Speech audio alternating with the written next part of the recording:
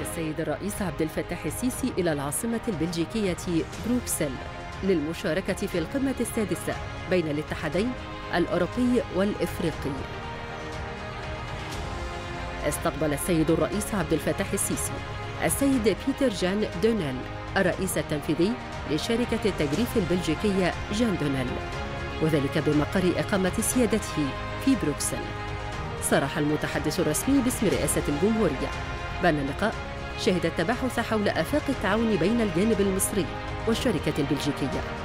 كما استقبل السيد الرئيس عبد الفتاح السيسي السيد جان لوك موران الرئيس التنفيذي لشركة جان كوكريل البلجيكية للصناعات الدفاعية.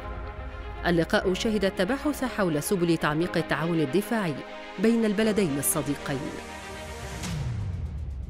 كما استقبل السيد الرئيس عبد الفتاح السيسي الرؤساء التنفيذيين لعدد من الشركات البلجيكية وهم شركة ديمي لأعمال التكريك وشركة ميناء أنتورب وشركة فلوكسس.